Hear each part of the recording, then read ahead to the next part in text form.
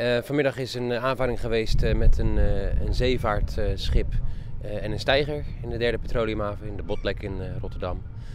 Er is een uitstroom geweest van stookolie. Enkele tientallen tonnen olie zijn hier vrijgekomen. Nou, die drijven op het water. En onze voornaamste prioriteit vanuit de hulpdiensten is te zorgen dat de olie zich niet verder verspreidt dan deze haven.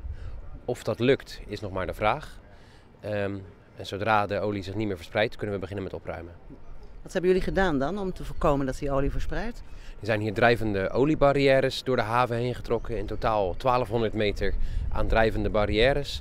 Uh, we hopen dat dat voldoende is om de olie tegen te houden.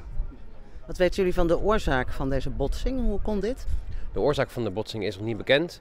Uh, zodra we hebben gezorgd dat de olie zich niet verder verspreidt, kunnen we onderzoek gaan doen naar wat hier gebeurd is.